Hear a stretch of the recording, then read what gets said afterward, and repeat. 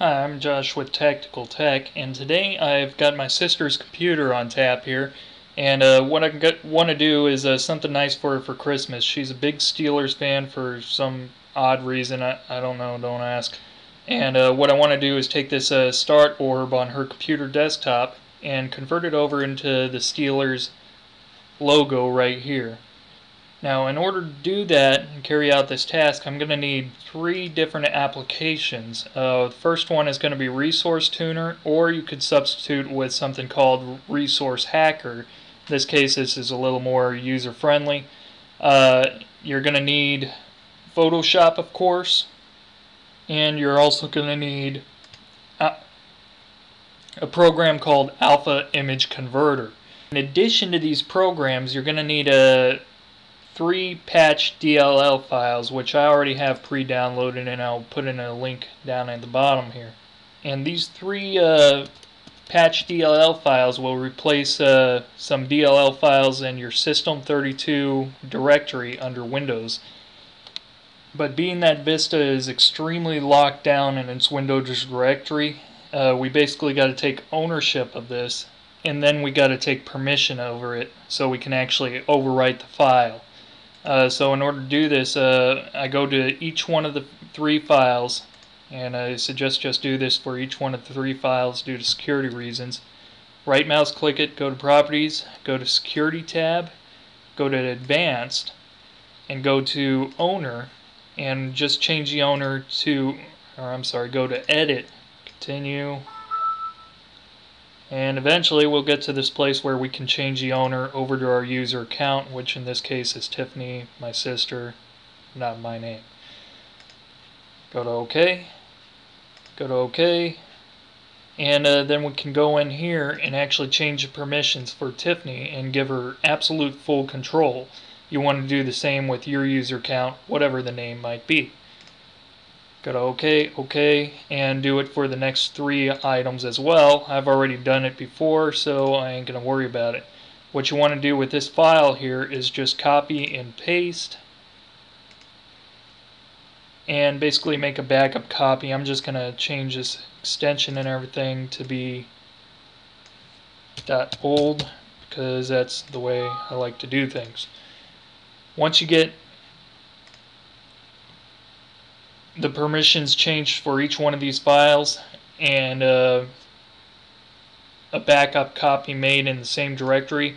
Just go ahead and select all three of these files and drag drop them over and replace them.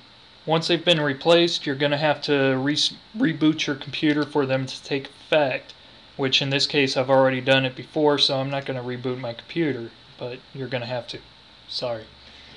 Uh, the next thing you're going to have to do is go to resource, resource tuner. And what you're going to be looking for is that file related to this start button. And that happens to be if we go to file open file go to the Windows directory under resources themes Aero you pull up aero.msstyles and continue there. This is just free trial for me.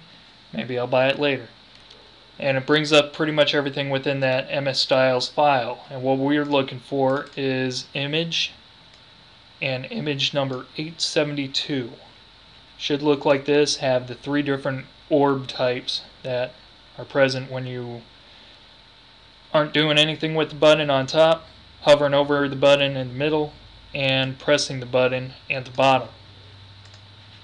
What we want to do is right mouse save the resource and save it over in our working directory, which mine happens to be on my personal computer. So once we got it in our working directory, the next thing we want to do is open up Alpha Image Converter.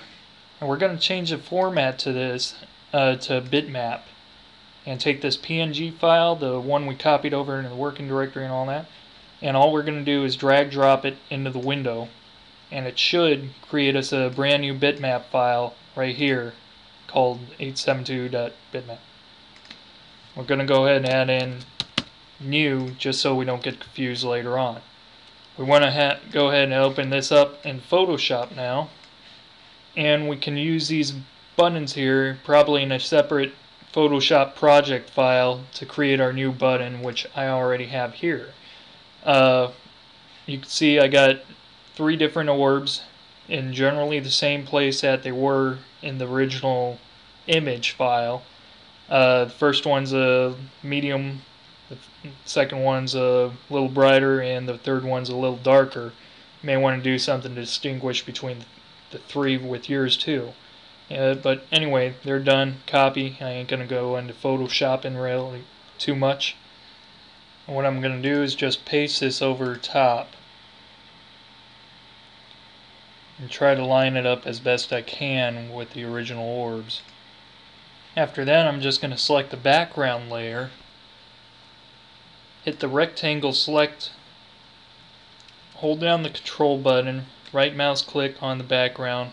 Select background and just delete it all out. I'm going to go ahead and select uh, the paint bucket and ensure that I have the black paint and you want to make sure that the RGB is all zeros all the way across. Go ahead and paint in there. File, save as. You're going to be saving this as a bitmap file. We'll make it new too. and save. You want to make sure it's a 32-bit. Go to OK. And we got it over here. We'll just drag drop it. Oops. Hold on tight one quick. Uh, change this uh, drop down target format to PNG. And then drag drop it over there. And it looks like it worked out here. Of course, uh, the gray and white checkers means it's transparent. So I'm done with the alpha image converter. Now I got to basically take that PNG file and load it into here. So all I do to do that, and actually let's go to the Windows directory first, or the resource directory.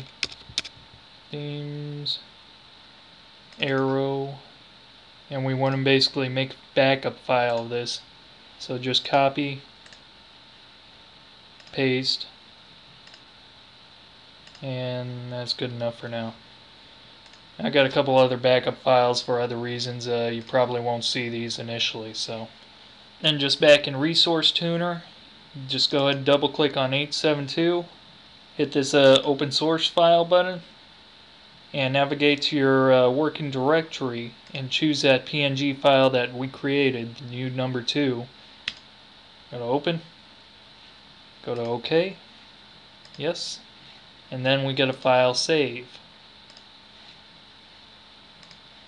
And let's see if this works. Yes, I do. Okay. And it overridden the Aero MS styles. Created a backup file for you automatically, but you still want to make one on your own just in case that fails or whatever. Double click on it. Choose Vista Basic. Go to Apply.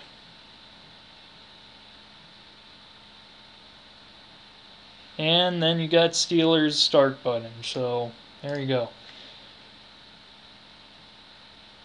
Now I want to show you real quick why you can't save it as a transparent PNG in Photoshop. Believe me I spent like half my life yesterday trying to figure out why the hell it wasn't working for me.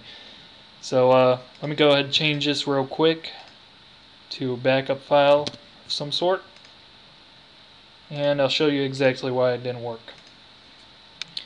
See, when you save it as a PNG file in Photoshop Direct, it gives you this ugly white background around it because it doesn't save the PNG file in the right format. Uh, I read a little bit online, it had something to do with Alpha Channel and a whole bunch of other stuff I don't know jack about, so uh, you do need this alpha converter which was extremely difficult to find but fortunately I left a link on the bottom for you guys to follow. So that pretty much sums up the tutorial. Thank you very much and uh, have fun with Resource Tuner. There's a lot of other cool stuff you can do with it and have a nice day.